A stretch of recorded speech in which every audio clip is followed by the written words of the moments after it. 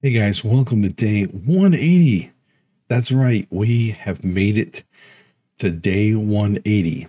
Now, of course, I'm actually recording this on the morning of day 181, but yesterday I had an interview with Meeting Wellness.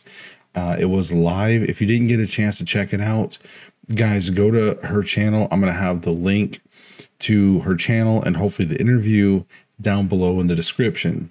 Um, but other than that, um, uh, day 180, I want to say I had a couple hot dogs. And of course, uh, I actually had two ounces um, of pork rinds. Um, I probably didn't need to eat those, to be honest with you. I just kind of, it was like a package deal. I, I got the, the two hot dogs and the pork rinds, and then I just, I ended up eating, eat, eating them and I probably didn't need to. Again, that's where you got to be careful with carnivores. Like you really just want to eat until you're full and satisfied. I kind of ate the pork rinds because I wanted to, if that makes sense. Um, not really because I was hungry anymore. Um, so, like I said, those are little things that I, I need to kind of be careful about. But in any case, I did weigh in I did take measurements. I don't want to give anything away. Remember, Saturday, which hopefully you're probably seeing this on Saturday because I'm recording it on Saturday.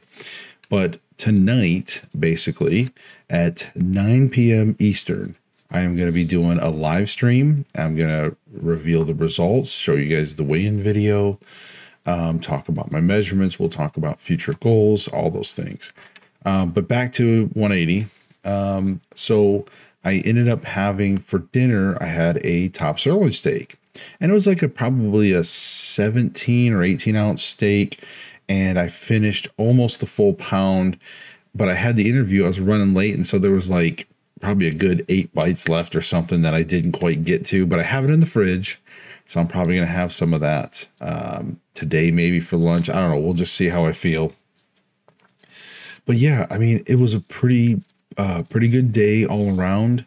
Just just had that stuff for lunch, and I'm I'm pretty excited to to have the live. So remember, catch the live. It's going to be Saturday.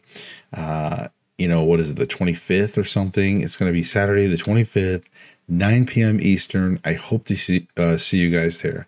All right, bye.